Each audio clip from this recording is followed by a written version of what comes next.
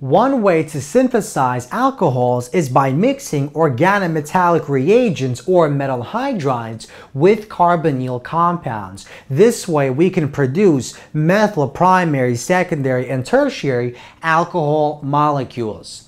Now notice as we mentioned in the previous lecture, when we mix our organometallic reagents such as the Grignard reagent in the presence of our organic halide, we do not form any, any product. So no reaction actually takes place. And this is because this Grignard reagent is not a good enough nucleophile to attack this carbon on the R group, displacing this leaving group here. However, if we place that same Grignard reagent as shown in reaction number two in the presence of the more reactive carbonyl molecule that contains the reactive double bond between the carbon and oxygen, in this case, this Grignard reagent is a strong enough nucleophile to basically undergo our nucleophilic addition reaction of the carbonyl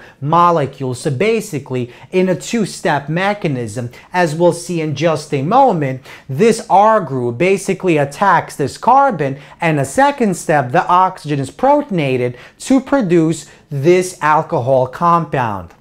Now, depending on these R groups, we can either form a primary, secondary, or a tertiary alcohol. So basically, if these two groups are H atoms, we form a primary alcohol. If one of these is H, the other one is a hydrocarbon, we form a secondary. And if both are hydrocarbons, we form a tertiary. And the same exact thing is true if we instead of using this Grignard reagent, we use our organo uh, lithium reagent. So by mixing organolithium with either our aldehyde, formaldehyde, or ketone, we can produce a primary, secondary, or a tertiary alcohol.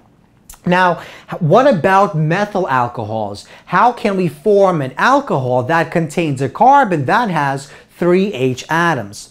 Well, one way we can do it is by mixing, for example, a formaldehyde with our lithium aluminum hydride, our metal hydride. So metal hydrides, just like organometallic hydrides, can be mixed with carbonyl molecules to produce our alcohol compounds. But in this case, we cannot ever produce our tertiary alcohols, and that's because at least one of these groups has to be an H group that comes from this metal hydride. So in this reaction, in reaction 4, we only produce methyl primary and secondary. In reactions 2 and 3, we produce primary, secondary, and tertiary, and we never produce methyl alcohols. And this reaction doesn't take place because this bond isn't very active, and this nucleophile is not very strong to basically displace this leaving group. So only reaction 2, 3, and 4 can actually take place. Now, what exactly is the reaction mechanism by which we synthesize our alcohol products by mixing carbonyl molecules with our organometallic reagents and our metal hydride? So, it's basically a two-step mechanism. And the important part about this mechanism is that these two steps have to be separated from one another and we'll see why in just a moment. So let's examine step one and let's suppose we are looking at the Grignard reagent.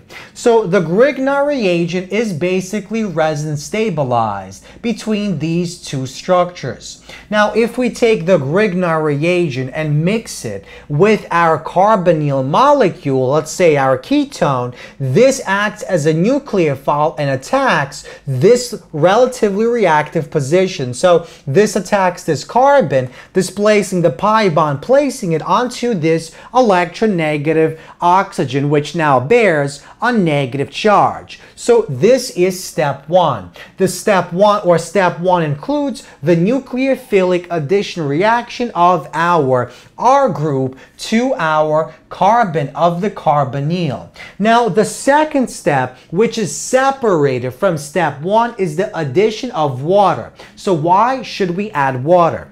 Well, if we add water, this alkoxide ion that is produced in step one can now grab an H atom. It acts as a Lewis base, grabs the H atom from water, which acts as the Lewis acid, and this alkoxide ion, the oxygen, is protonated, and we form the final alcohol product as well as this hydroxide.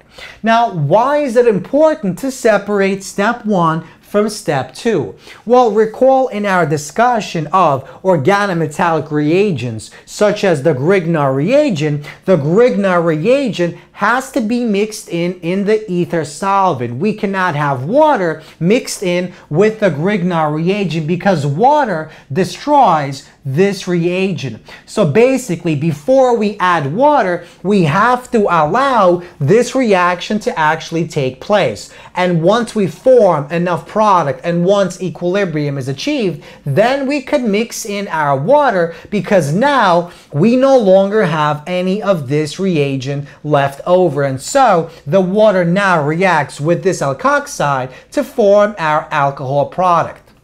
So, once again, the second step involves the addition of water to the alkoxide ion and the water protonates the oxygen on the alkoxide to form our alcohol. Now note that these two steps must be separate from one another because organometallic reagents are destroyed in the presence of water. And the way we symbolize the separation of step one from step two is by using the following symbolism. So we have our ketone, well actually it could be a carbonyl molecule, it could be formaldehyde, aldehyde, or ketone.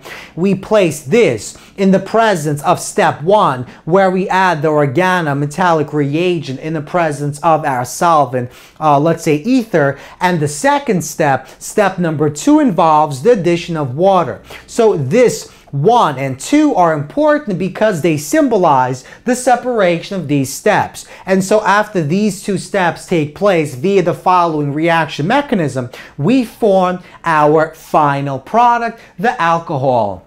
And once again, depending on the type of groups that we have, we can either form the primary, secondary, or tertiary alcohol or the methyl primary and secondary alcohol product.